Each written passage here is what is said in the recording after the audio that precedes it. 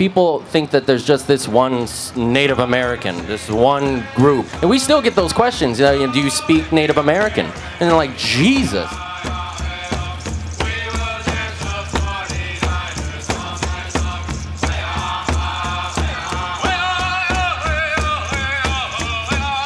My name is Simon Moya Smith. I'm Oglala Lakota and Chicano. My mom's from East Los Angeles, and my dad is from the Pine Ridge Reservation in South Dakota. Some things I write are pretty aggressive, and not everybody likes my writing style. They don't like that I cuss left and right. Simon, the question back to you this interplay between objectivity and accuracy.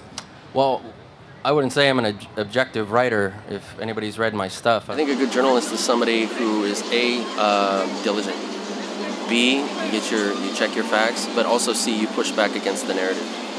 We have to look at the American narrative, the white narrative as it as, as it reads right now, and what has been decided is what is objective. And I think it is incumbent upon the conscientious objector, and especially the, the writer of color, the, the ethnic minority, to push back against the American narrative. And if they don't think it's objective, then that's their problem. We're following the facts too.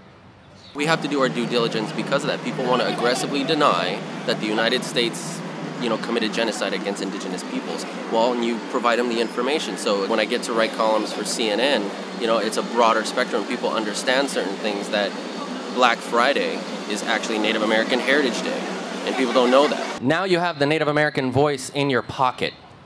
Literally, you can look at your phone and see us responding to something in real time. That's what actually brought the New York Times and MSNBC and CNN because they couldn't deny what exactly was happening. They couldn't deny the footage of dogs being released on indigenous people and water protectors. This was a way for the indigenous community and those of the non indigenous community to take control of the narrative. And that's what we even try to do, not only if you're a water protector like Tara House got the front lines, but being me in a newsroom trying to not uh, change the narrative, but to correct it.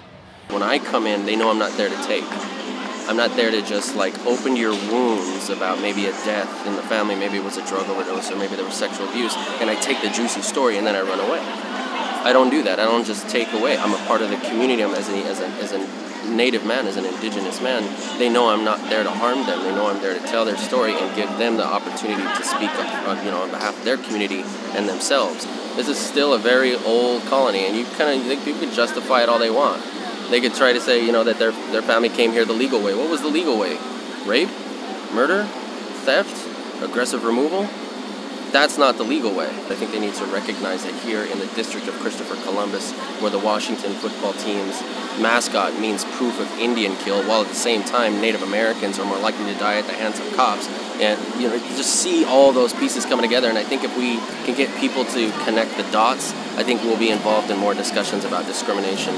And um, that day hasn't come yet, but we're pushing for it.